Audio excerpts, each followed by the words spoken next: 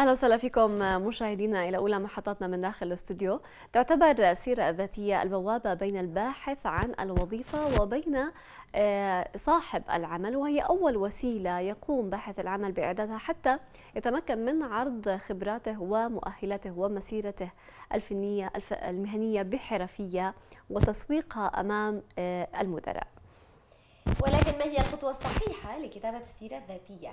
نستضيف معنا الدكتور طارق سيدك استشاري تنمية بشرية وتطوير أداء للحديث عن هذا الموضوع، أهلا وسهلا فيك. أهلا وسهلا يسعد صباحكم. صباحك. وجودك معنا. تسلمي الله يسعدك. ابدا نعم آه، دكتور بداية كيف ممكن أنه نكتب السيرة الذاتية آه، بما يتلائم مع يعني خبرتنا المهنية وأنه هاي السيرة تعبر عن ذاتنا بالشكل المناسب. ما تكون أكثر من من القدرات اللي إحنا بنمتلكها وما تكون أقل. ما تكون أقل. يمكن بس نغير السؤال شوي ونسأل سؤال ثاني قبل. هو أنا لماذا أريد كتابة هذه السيرة الذاتية تحديدا؟ وهذه نقطة. نقطة ثانية إنه آه، السبب ليش أنا بكتب السيرة الذاتية ولمين؟ مش لمين بس على مستوى الوظيفة على مستوى المسمى الوظيفي. في خطأ شائع موجود عند كثير من الناس إنه إحنا بنكتب السيرة الذاتية وبنعملها لسبب إنه بتعرفي مبدأ عند الشباب موجود رش خلي الناس تعرفك هيك بالعامية. رش؟ رش خلي الناس تعرفك. شو الفكرة؟ بنعمل سيرة ذاتية وحدة بنجهزها وبنصير نبعثها لكل الأشخاص اللي إحنا بنعرفهم لكل الإيميلات ولكل الشركات. وهذا مبدأ رش خلي الناس تعرفك وهو مبدأ الرشاش اللي مخالف لفكرة القناص اللي مرة حكينا عنها. إذا أنا بروح ل 20 شركة أو 50 شركة وبعمل نفس السيرة الذاتية وهذا أغلب الناس هيك بيسووا ونبعتها للكل أغلب الظن ما راح ألاقي وظيفة.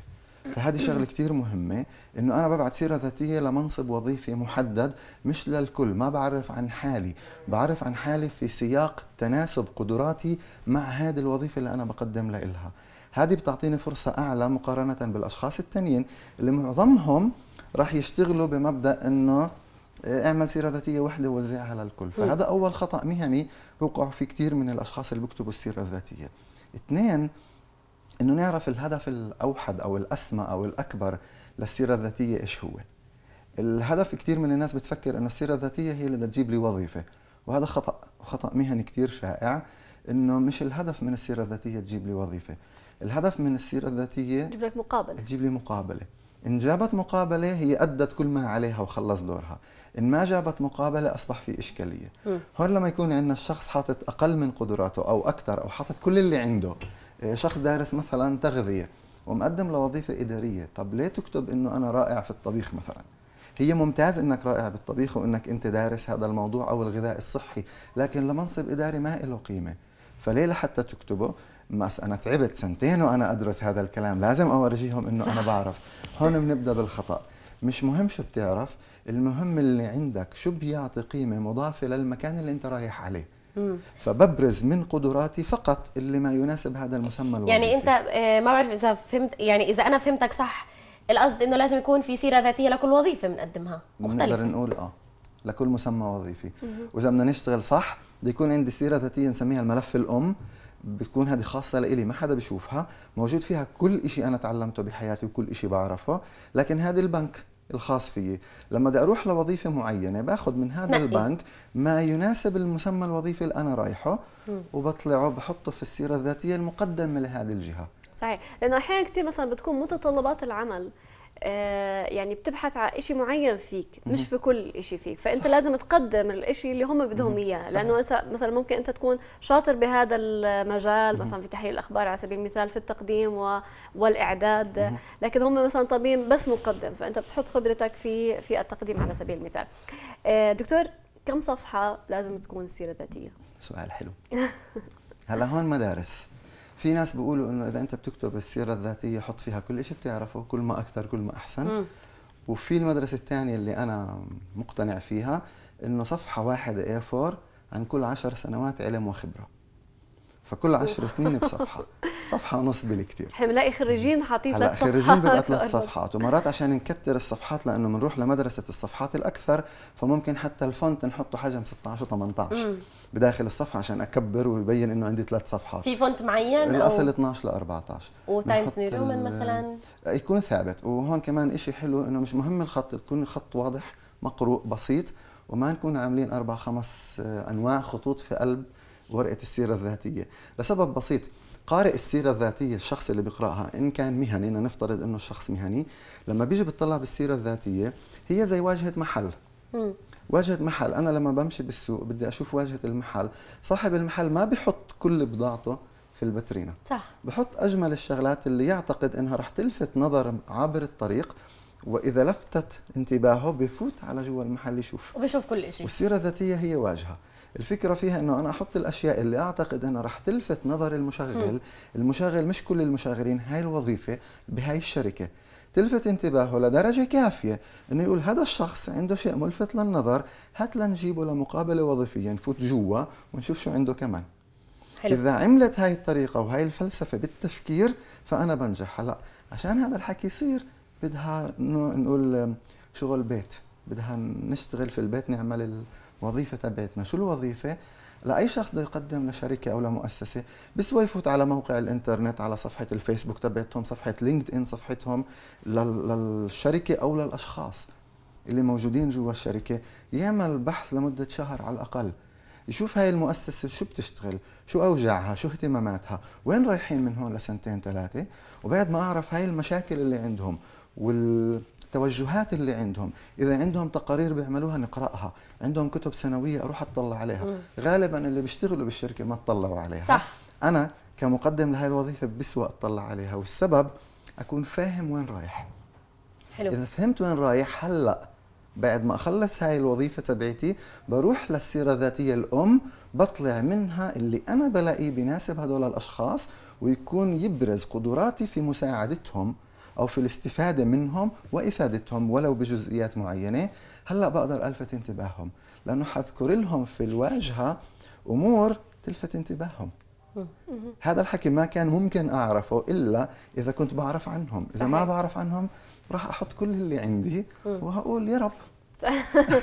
صحيح هذا هذا التميز بتخيل إنه الواحد يكون التميز. آه، بالفعل آه، مقدم لوظيفة عارف شو هي وعارف شو المؤسسة بتشتغل. آه، أنا كنت رح أسألك عن البيانات الشخصية، إيش طبيعة البيانات الشخصية الصحيحة اللي لازم آه، يتم إدراجها في ضمن السيرة الذاتية، وإيش اللي لازم نبعد عنها؟ أهم شغلات بدي أحطها أسمي. بده يكون واضح الاسم. طرق تواصل معي. إذا أعجبهم بدهم يعرفوا لمين يرجعوا. يكون رقم تلفون إيميل موجود. عنوان بريدي. اليوم خف كثير العنوان البريدي اللي هو ال- الصندوق البريد. صار أكثر العنوان الإلكتروني هو المتوافر بشكل أكبر. تلفون طرق اتصال معي. هذا هو. أهم شغلات تكون موجودة. حسب الوظيفة المطلوبة وسنوات الخبرة ممكن مرات بسوى كمان أحط سنة الميلاد. إنه مواليد أي يوم وأي سنة أحط تاريخ الميلاد مش دائما بلزم. معظم بتحطها. السياقة، متزوج الوظيفة. الحالة الاجتماعية. حسب الوظيفة ومتطلبات الوظيفة. إذا مش مطلوب رخصة سواقه لا لا احطها إذا مش مطلوب إنه الشخص يكون متزوج أو غير متزوج. طبعا هذا استقراء. إنه حسب أنا لإيش مقدم. فليه تكون الحالة الاجتماعية تبعتي موجودة إلا إن طلبوا؟ فهاي النقاط ممكن أني أحطها ممكن ما أحطها. في وحدة من الشغلات بنقدر نسويها ونوفر مساحة إنه عندي ال footer وال header اللي هم الرؤوس بالأعلى وبالأسفل اللي بتكون بال- بالورقة ال A4 ممكن هناك أحط اسمي وكل ال contacts تبعتي. وبالتالي في جسم الرسالة نفسها ما بحط ال contacts مم. بحط الخلاصة. وهيك بكفي لأنه مرات ناس بيقولوا طب ما بكفي. هذه نقطة مهمة. كمان شغلة نبعد عنها بالأشياء التقنية. للمشغل. أي ورشة عمل أو دورة أربع ساعات وخمس ساعات وعشر ساعات ما نسجلها. يعني هاي مش مطلوب إنه أنا أسجلها لسبب. المشغل هو ابن سوق نكون منطقيين وواقعيين. أنت كم خريج جديد أخذت ورشة عمل أربع ساعات شو طورت عندك اللي يفيدني بشغلي؟ كصاحب عمل. ما عملت إشي. وبالتالي أي دورة أو ورشة عمل أقل من 30 ساعة ما نسجلها.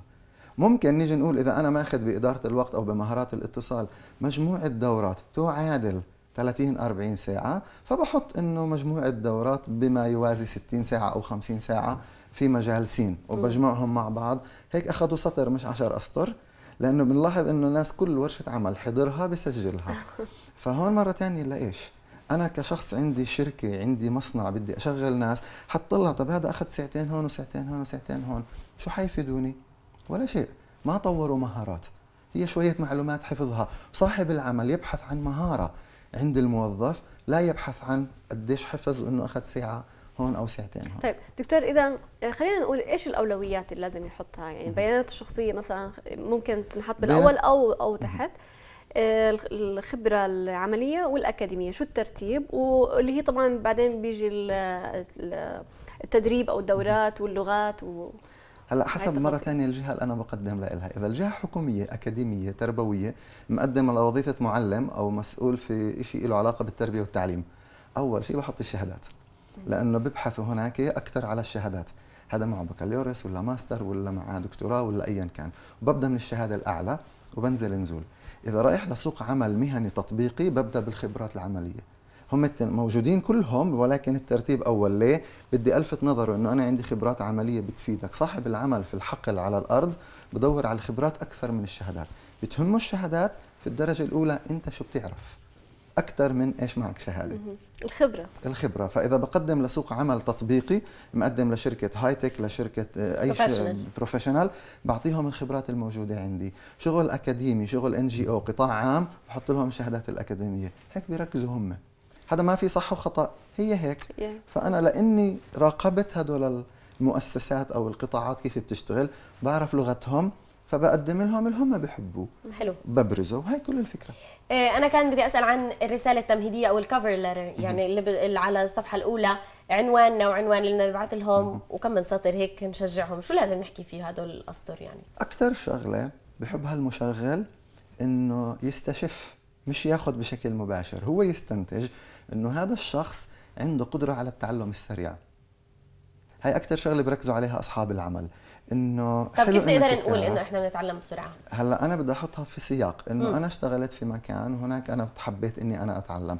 اتطورت في ست شهور في مكان عملي لأنه دخلت في سوق جديد أو في مكان جديد في خبرة سابقة وتطورت بشكل كبير لأنه أنا عندي حب للتعلم. ممكن اجيبها حتى بسطر مباشر. إنه أنا ممكن ما بعرف معلومة معينة وإذا ما بعرف ما بخجل هقول ما بعرف لكن أنا سريع التعلم وبتعلم بسرعة. جميل هذه النقطة بتهم صاحب العمل لسبب. متوقع خريج جديد ما عنده خبرة وهذا شيء طبيعي.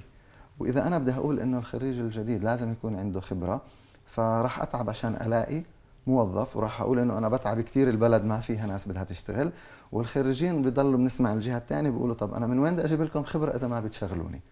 فهون هذا النقاش دائما موجود بين الجهتين ففي له أكثر من طريقة كيف نشتغل فيها أهمها لصاحب العمل أنا بدي أجيبه أعلمه ولسه راح يطلع يغلبني عشان يتعلم م.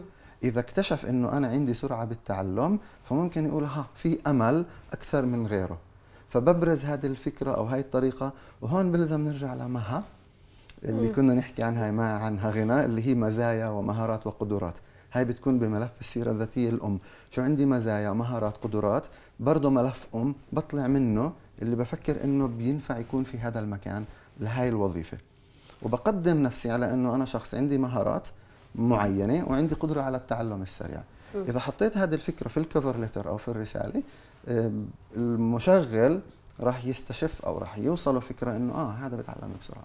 شو أحلى هيك شيء آه، قرأته ب ب الرسالة التمهيدية قبل السيرة الذاتية.